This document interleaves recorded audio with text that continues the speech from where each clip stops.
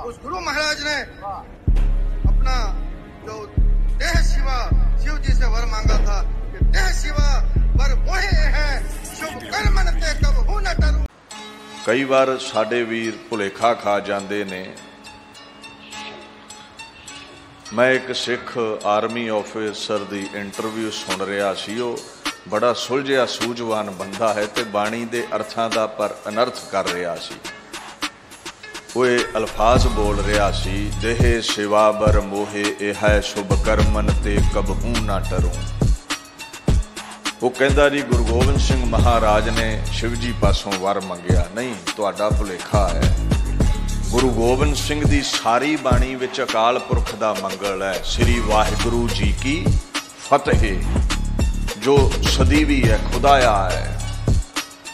ਉਹਨੂੰ ਸ਼ਿਵ ਸ਼ਕਤ ਕਿਹਾ ਹੈ ਪਾਤਸ਼ਾਹ ਨੇ ਉੱਥੇ, ਜਿਵੇਂ ਗੁਰੂ ਗ੍ਰੰਥ ਸਾਹਿਬ ਵਿੱਚ ਕਈ ਜਗ੍ਹਾ ਸ਼ਿਵ ਸ਼ਕਤ ਦੀ ਗੱਲ ਆਈ ਹੈ, ਜੋ ਅਸੀਮ ਸ਼ਕਤੀ ਦਾ ਮਾਲਕ ਪਰਮੇਸ਼ਵਰ ਹੈ।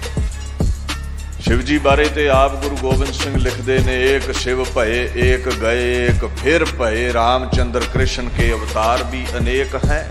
ਕਹਿੰਦੇ ਮਹਾਦੇਵ ਸ਼ਿਵ ਜੀ, ਐਸੇ ਮਹਾਪੁਰਸ਼ ਦੁਨੀਆ ਤੇ ਖੁਦਾ ਦੇ ਹੁਕਮ ਵਿੱਚ ਆਉਂਦੇ ਨੇ ਵਾਹਿਗੁਰੂ ਦੇ ਹੁਕਮ ਵਿੱਚ ਚਲੇ ਜਾਂਦੇ ਨੇ। ਮੈਂ ਕਹਿੰਦੇ, ਉਸ ਸ਼ਿਵ ਦਾ ਉਪਾਸ਼ਕ ਹਾਂ ਜੋ ਸਦੀਵੀ ਹੈ, ਜੋ ਪਰਮੇਸ਼ਵਰ ਹੈ, ਜੋ ਇਹਨਾਂ ਦੇਵਤਿਆਂ ਦਾ ਵੀ ਮਾਲਕ ਹੈ।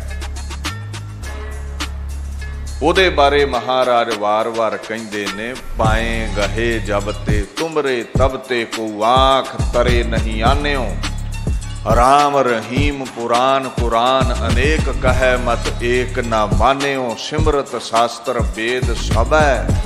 ਬਹੁ ਭੇਦ ਕਹੈ ਹਮ ਏਕ ਨਾ ਜਾਣਿਓ ਸਿਰਿਯਸ ਪਾਨ ਕਿਰਪਾ ਤੁਮਰੀ ਕਰ ਮੈਂ ਨਾ ਕਹਿਓ ਸਭ, ਤੋਹੇ ਬਖਾਨਿਓ, ਜੋ ਸਦਾ ਰਹਿਣ ਵਾਲਾ ਹੈ।